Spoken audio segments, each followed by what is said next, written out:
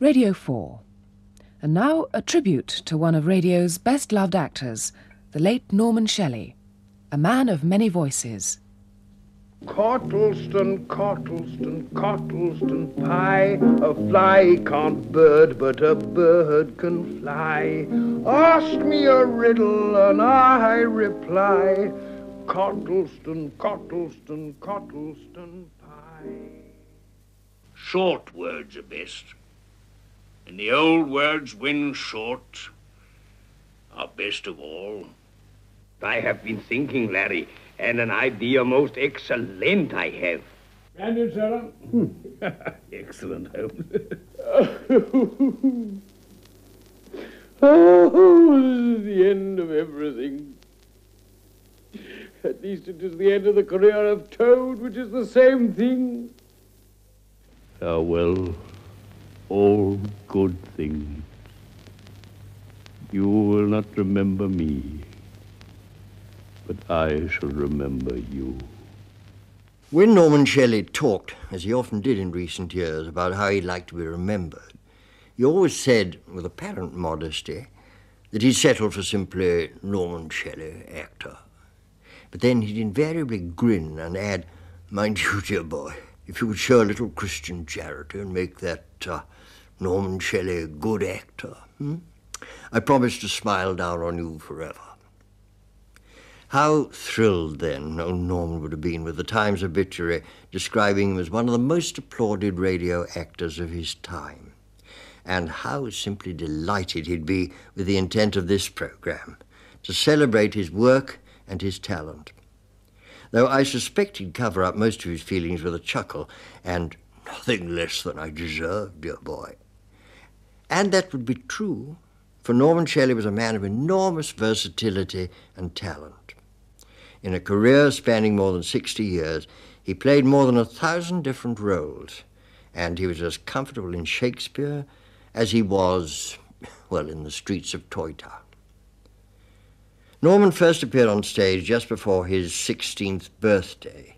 It was the walk on part as Father Time at London's Old Vic. That was in 1919, and he was still performing as Colonel Danby in The Archers until the day before he died last August. He'd taken part, of course, in various school plays and shows as an actor, but he'd never really thought about acting as a career. His plans were to become an aircraft designer and he might well have gone to work for de Havillands if the armistice ending the First War hadn't been signed just days after he was offered a job there. So instead, out of work and at a loose end, he one day went to see his sister rehearsing for her drama school's Christmas show. And then, as happens in all the best showbiz films, one of the young actors didn't turn up. He was pressed into service as stand in, did very well, and a whole new world opened up for him. The owner of the school was the well known drama teacher Rosina Philippi. And earlier this year, Norman recalled how influential she had been in pointing him towards the stage. After I'd been uh, rehearsing for a week or two, she said, Dear boy, I've got to give you some really terrible advice. You have got to be an actor. And I know the seriousness of what I'm saying. But you really must be an actor. It would be a crime if you didn't. You are splendidly equipped. I mean, you're a little bit short, perhaps. You won't always be able to play a romantic juvenile, as I don't mind. Later, he was to mind, especially on the occasion when he was given Polonius while he was bursting to be Hamlet. But chagrin wasn't a natural part of his makeup, and he was soon far too busy enjoying life as an actor to worry about the roles that came his way. So long as they kept coming and presented some kind of challenge, he was happy. For several years, he was a member of various classical companies. He was with Russell Thorndike at the Old Vic. He toured with Charles Doran's Shakespeare Company, which included Ralph Richardson and Donald Wolfit. He toured with Ben Greet. He had a season with the Alexander Marsh Company, during which he clocked up his 130th Shakespearean role as Sebastian in Twelfth Night. He had several overseas tours, and then he joined the Gate Theatre for a series of contemporary plays, from O'Neill's Hairy Ape to Lenormand's The Eater of Dreams. But ironically, it was his appearance at London's Children's Theatre that led to the most important development of his career. Because while Norman had been finding his feet on the stage, drama itself was finding a new medium, the wireless. The BBC had begun broadcasting in 1922, and when producers began to cast around for new voices, Norman's was one of those to catch their attention. A school's radio producer saw him at the Children's Theatre and invited him to do occasional broadcasts. I think it's safe to say that I took to radio like a duck to water, you know, because very quickly I was established as a very sort of quite an important radio actor. And um, when I went to Australia in 1932, I went out there with an enormous radio reputation behind me. I don't know why.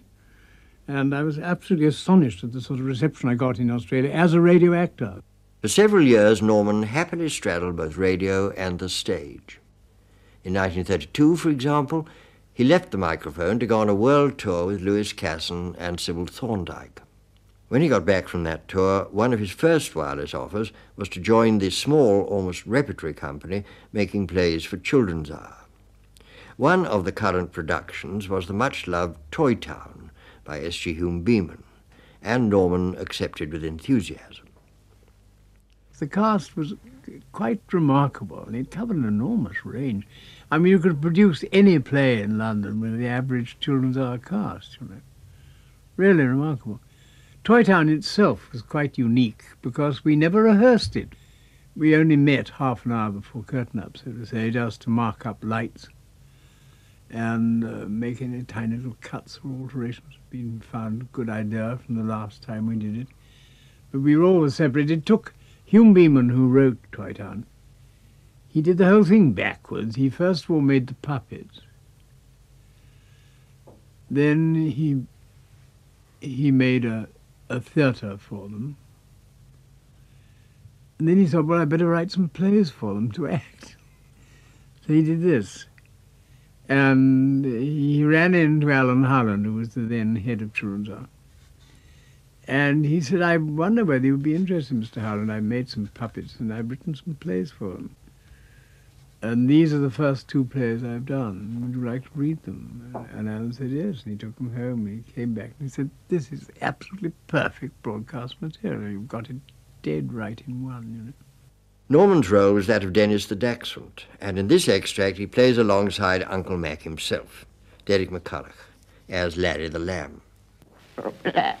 I say, Dennis, I don't know how I can possibly manage any longer with only threepence a week pocket money. I always spend that before Tuesday. You see, I'm so awfully fond of lollipops. Oof, not enough it is, Larry, my friend. My threepence goes almost before I can look at it. I told the farmer so. I said, after us living in your barn all this time, our pocket money to fourpence at least, I think you ought to raise. And what did he say? He said when I to do some work started, and when your wool long enough grew for him some off to cut and sell, he would think about it. So I told him I often worked. I barked at a stranger who into the yard only the day before yesterday came. Quite right, Dennis, and your talk is getting much worse. I ah. expect my wool would grow much quicker if I had more pocket money. Yeah, but I have been thinking, Larry, and an idea most excellent I have. Norman had a special affection for Dennis because playing him led to his first royal encounter. I had the great pleasure of playing to our beloved Queen and Princess Margaret when they were little children, and King George VI and beloved Queen Mum. They were in Studio BB, which had a little balcony and rails. And in the middle of the broadcast, Princess Margaret got her head right through the railings, and KG6 was quite determined she was suddenly going to dive in and join the cars. Yeah, I remember just grabbing her, like striking her back. But he loved it so much, and I felt slightly worried about the Teutonic side of, of Dennis. But the king was marvellous. He, I remember him wanting to laugh so heartily. He stuffed a hanky in his mouth. And we saw them all afterwards. And it was great fun. Enjoyment of life was always very important to Norman, and he got so much pleasure from using his voice and the microphone that he decided to concentrate on radio, and he went to see Val Gielgud, who was then head of radio drama. I said I want to burn my boats theatrically, and I would propose in future I would like to do my work with the microphone. I mean, in radio, because there I'm sure, and you have always realized my wide range. I can play anything that I want to play, or you want me to play. Val said, My dear fellow, I'd be delighted to have you. And I said, The only thing is, Val, you must keep me employed. Because I'm losing all, a great deal of the publicity of the theatre. But I shall be more than happy, because my audience to me is that fellow, the microphone. I remember Henry Ainley saying to me, Isn't it marvellous, my dear boy? We are acting to 12 million people. I said, You're not, Harry. You're not. Our audience is one and two, probably rather elderly people, sitting in their tiny little home in front of a speaker. But that audience of one and two is multiplied anything between six and eight million times over.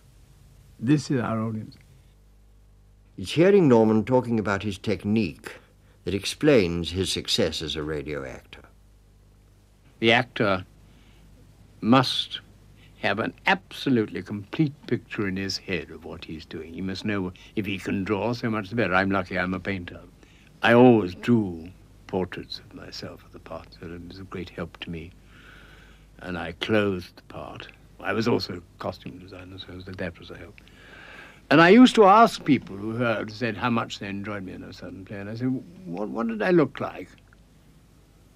Said, oh, we were men about six feet high, and I suppose probably about 55 or you might have been 70.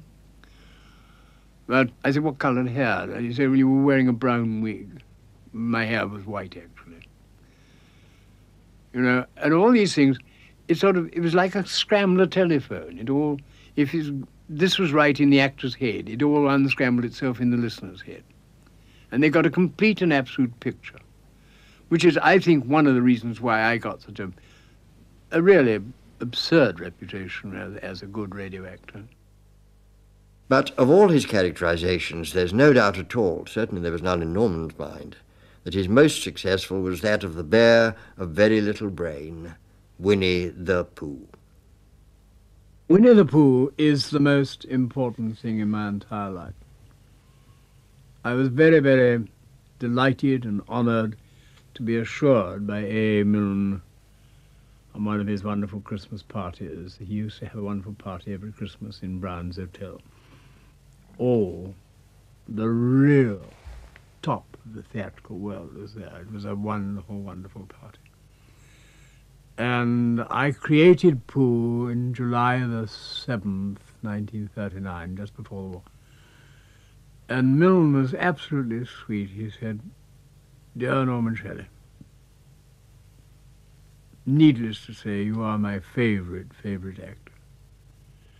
And I want to say to you quite solemnly, I regard you as the definitive Pooh, and I never want to hear anyone else play it. And what you have done is quite phenomenal. I said, well, uh, it's very, very sweet of you to say, but do let me say here and now, apart from the debt I owe you for writing Pooh, my other debt is to Ernest Shepard. And he said, but why? I said, well, people have so often said to me, how do you know what sort of voice Pooh had? I said, you only have to look at Shepard's drawings, you know at once. You cannot go wrong. Being a member of the Royal Zoological Society also helped. I used to study bears and look at them and translate their little grumbling, grisly little voices back into sort of an English usage. If you think small bears, real small bears, they have little small voices like this.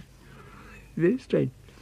And I use this for Pooh, and um, sometimes you get down there, but I can't play Pooh standing up straight. I have to stand, um, if I can get up straight, I stand like this like that. And you have to remember very important things about Pooh. Pooh can't do that with his head. He can't nod downwards. He can move his head right and left. He can't lift his arms out sideways, shoulders. They work this way. And you have to remember this. You have to remember also that his head is, for brains, he's stuffed full of sawdust and trouser buttons and things. This has a very limiting factor on your speech, and he thinks, as he says, I get fuzzy, and he doesn't think I get muddled, you know. It's very difficult to talk, and you can hear the sort of thinking processes going on in his head, which does make for a rather splendid sound. The voices of the, the animals we did in a, in a kind of committee. Geoffrey Wincott and, and myself were both old Ben Grecian actors. And Ben Greet had a voice like you know. Bee this incredible sort of voice of doom voice he had. so Geoffrey and I were talking about voices, and Geoffrey was going to play Eeyore, and he said, "You don't have to look any further. Play him like BG." So that, which indeed Geoffrey did, was absolutely tremendous. and just how tremendous you can judge for yourself in this extract from Eeyore Has a Birthday, in which I was the narrator. Eeyore, the old grey donkey, stood by the side of the stream and looked at himself in the water. Eh, hmm. Then he turned and walked slowly down the stream for 20 yards, splashed across it, and walked slowly back on the other side. Then he looked himself in the water again. Eh, pathetic. That's what it is. Pathetic. No better from this side than from the other. But nobody minds. Nobody cares. Pathetic. That's what it is. There was a crackling noise in the bracken behind, and out came Pooh. Good morning, you. Good morning, Pooh Bear. If it is a good morning, which I doubt. Why, what's the matter? Nothing, Pooh Bear, nothing. We can't all, and some of us don't. Hmm? That's all there is to it. Can't all what? Gaiety, song and dance. Here we go round the mulberry bush. Oh. Uh, what mulberry bush is that? Bonhomie. Oh. French word meaning bonhomie. Oh, I see. I'm not complaining, but there it is. Yes.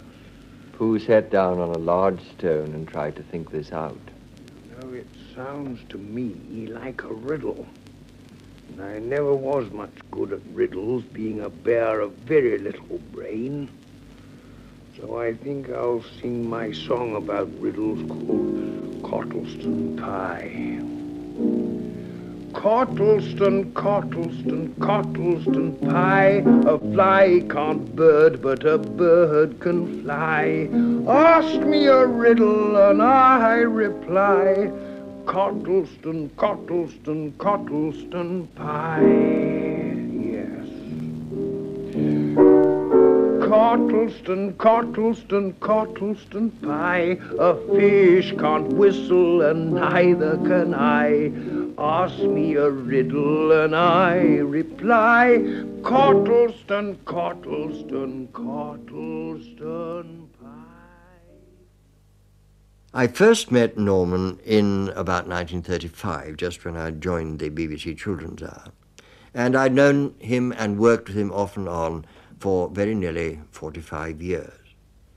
He was a dear man to work with, maddening in the extreme he would do all sorts of extraordinary things. He would tend to fall asleep at a microphone when he wasn't actually speaking. And one of his most infuriating characteristics was turning up late for rehearsals. So, much so that it became uh, almost a classical saying. He was living at that time near the canal at Tring. And when he'd arrive and everybody had already got going some minutes, he would say, Sorry I'm late, old boy, sorry old late. Fog on the road from Tring and fog on the road from Tring has been handed down as an almost Johnsonian saying to this day. Well, Children's Hour followed up the success of Winnie the Pooh with the adaptation of another favourite story, Kenneth Grahame's The Wind and the Willows. In some of the earlier programmes of this production, Norman played, I think it was Ratty, but eventually he moved up to the higher echelon and became Toad, Toad of Toad Hall.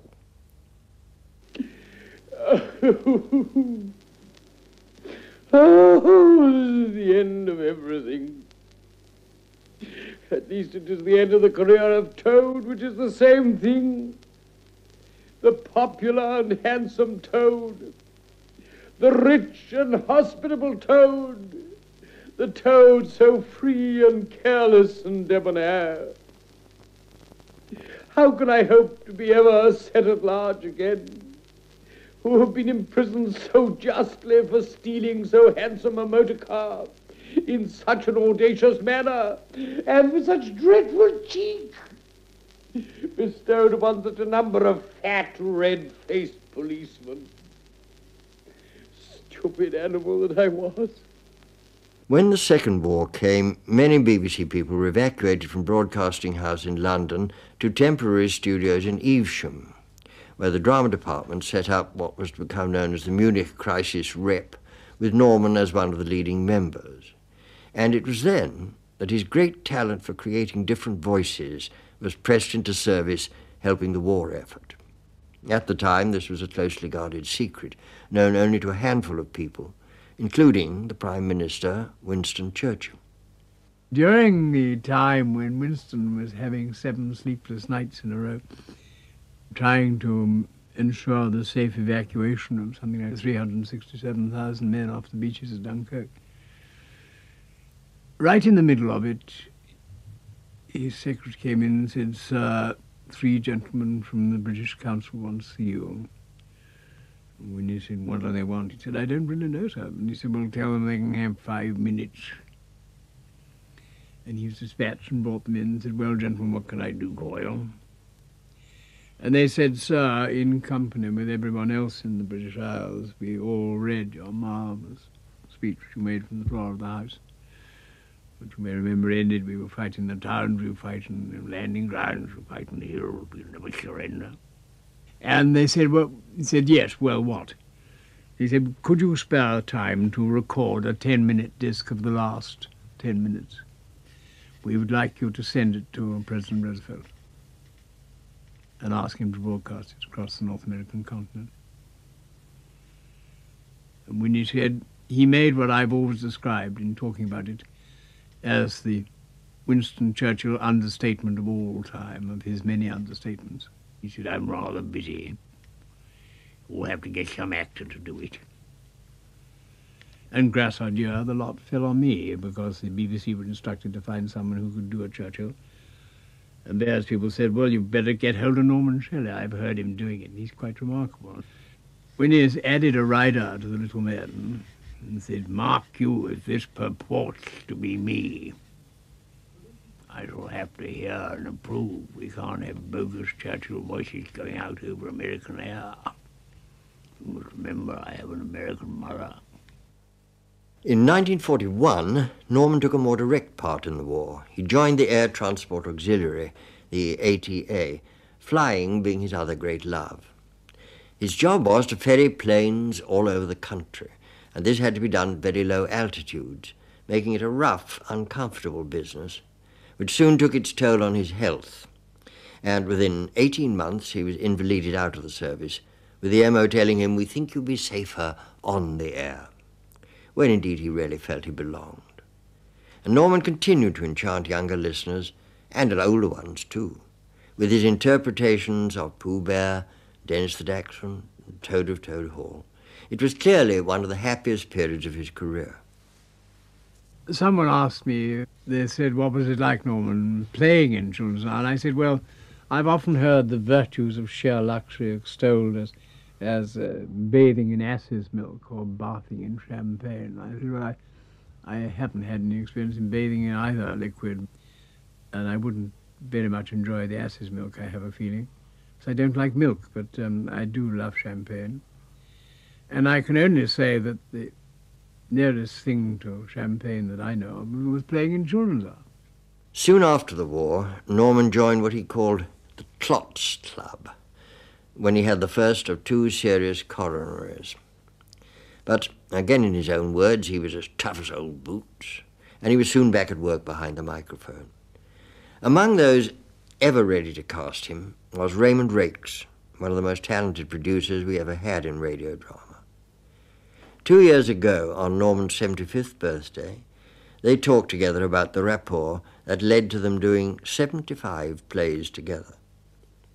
So it's not surprising that we're talking together, is it? Right, yes. Well, we do know something about it together. And each other, I think. I, I suspect Because so. I think very much we think the same way about radio. This is, How do you this think about radio? Well, I think of it as a marvelous kind of painting medium, which is all done through the voice. I, if I want to listen, I'm teaching at the moment in Birmingham at the old Birmingham Repertory Theatre Drama School. And uh, if I want to listen critically, I invariably keep my eyes shut. Because then I, I hear with the most critical faculty of my body, which is through, through the ears. When, in 1955, Norman was invited to select a play for the light programme series Stars in Their Choices, it was to Raymond Raikes he turned as producer of J.B. Priestley's Johnson over Jordan. I have been a foolish, greedy, and ignorant man. Yet I've had my time beneath the sun and stars. I've known the returning strength and sweetness of the seasons, blossom on the branch and the ripening of fruit. The earth is nobler than the world we have built upon it. What have I done that I should have a better world? Even though there is in me something that will not rest until it sees paradise. Farewell, all good things. You will not remember me, but I shall remember you. In front of the microphone, Norman established a partnership that was to become one of the most famous in radio, a partnership with the great Carlton Hobbs. And I'm rather proud to think that it was, in fact, myself who did the casting of these two. We started, I think, very nearly the first adaptation, it was by Felix Felton, of some of the Sherlock Holmes stories. And for 25 years, starting in Children's Hour, Norman played Watson to Hobbo's Sherlock Holmes.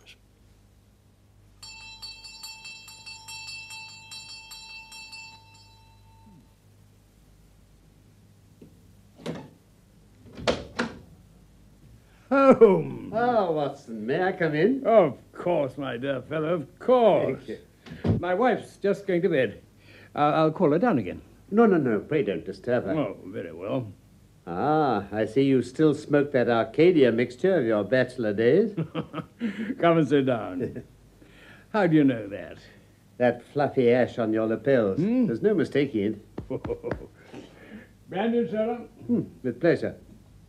Oh, I'm sorry to see you've got the British workman in the house. Mm-hmm. He's a token of evil. Not the drains, I hope. No, the gas. but how did you know? He's left two nail marks from his boots on your linoleum. Where? There, just where the light strikes it. Huh? You see? Excellent, Holmes. Elementary. Ah. Your good health and Mrs. Watson's too. and yours.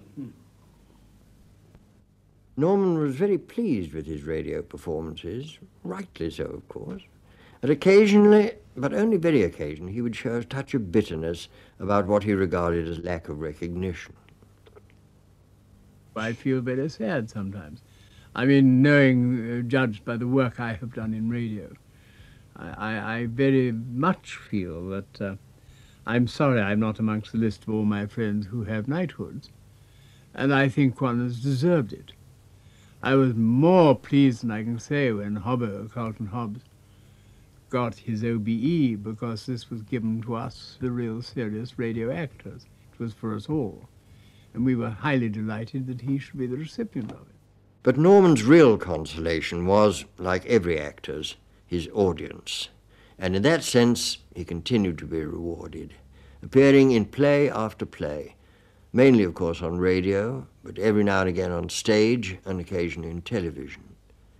Not even a second coronary made him think of retirement. Indeed, long after most people have settled for collecting their old age pension and the quiet life, old Norman, at the age of 73, launched himself on another strand of a remarkable career when he was asked to join the Archers. I was truly delighted. I think Martin Esslin must have been responsible for it. Martin was our then head of drama. And I had always flatly refused to have anything to do with the BBC Repertory Company. And I went, I was rather desperate. I'd had a really horrid three months patch very, very slim living indeed. And he must have got on to Tony Shryane, I think, and said, what about having Norman Shelley in, in the Archers instead of me taking him into the rep, I'm thinking of doing? And Tony Shryane, I'm glad to say, jumped at the idea. Rather nice. And um, when I told my wife about this, she was dying the demon cancer. And she said, Darling, I'm so thrilled that you're starting a new career at the age of 73. But I do hope I don't bitch the whole thing up for you by going and dying the day before you start. That would be too awful. But bless her cotton sock, she gave me three clear weeks. Neither that personal trauma nor yet another painful illness, this time a kidney stone, ever showed in his performance as Colonel Danby. I'll put the kettle on, shall I? No, no, I'll, I'll do it. Uh, uh, look, look, look uh, why don't you just sit down? What? Oh. You all right, Freddie? Oh, of course I am. You're looking flushed. Am I? Yes. What's wrong? Oh, nothing. But there's something I'd like to say to you. Uh, I, I, was going to do it earlier, as a matter of fact, but then I thought it best to, well, dispose of the pig first. Freddie? No, no, don't interrupt, please, Laura. Laura, I, I, I would like to ask you to marry me. Of course, you don't have to decide immediately. But I would like us to, perhaps, to talk it over. What do you say?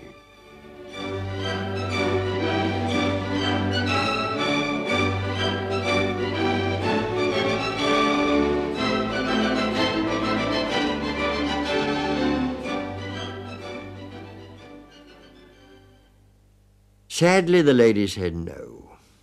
But the colonel, obviously made of the same stuff as Norman, shrugged off his disappointment and carried on life as cheerfully as ever. Meanwhile, Norman astonished everyone by going back on stage in the West End, in Tom Stoppard's Dirty Linen, and accepting the grueling regime of eight performances a week and regularly travelling between London and Birmingham, where The Archers is recorded. No one could understand what drove him on. Kind of demon, I suppose. It sort of seizes you. But I, I very much scorn the theatre the last time. I've usually gone back into the theatre about once every ten years. And this is primarily, A, to show myself that I know how to do it, and B, to show the general public the old bugger's still alive. But eventually it did become too much for even Norman's constitution. I have now decided that at 77 I've proved my point. I've just concluded. I've officially announced my retirement as a theatre actor. Because the hassle of the theatre, the awful, what I call the tyranny of the theatre, is too much. Never being able to do anything in the evenings. Very worrying. Would have to start thinking of inside clock has to be properly organized for meals. You know, it's a terrible business. And it really is tyranny, I call it. He also decided to give up his flat and move into an actor's home. An act which seemed to many like his acceptance that his career was, at last, at an end. It doesn't, you see, uh, I mean, as long as my health holds up, because I shall still be delightedly playing the archers until one runs out of sea, you know. Dear old Norman ran out of sea last August, while on his way home from recording another episode of The Archers. He never did stop working.